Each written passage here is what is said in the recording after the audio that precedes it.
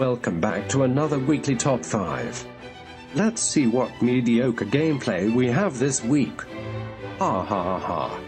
In at number 5 we have Equators with a beat down get down flaunt your style Equators is guaranteed to make it worth your while.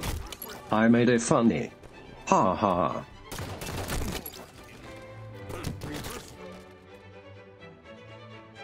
At number 4, Ice K1 shows us that despite one shot one kill, he'll pop another cap in your ass for good measure.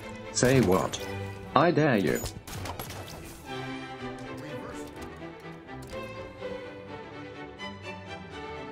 Our designated number 3 spot goes to the tattiest of all zebras, aka at El Diablo, with an overkill and a killtacular.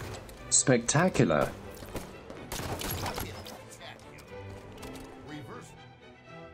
Number 2 is His Royal Highness, Onurb.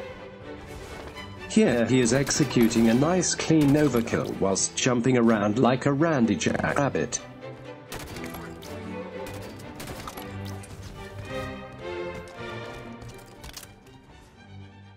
Our number one clip this week is Items finally receiving redemption with 4 shots, 4 kills. Someone give this man a medal and a better internet connection. Ha ha ha ha ha. Ha. That does it for this week's episode. Submit your clips to the email on the screen.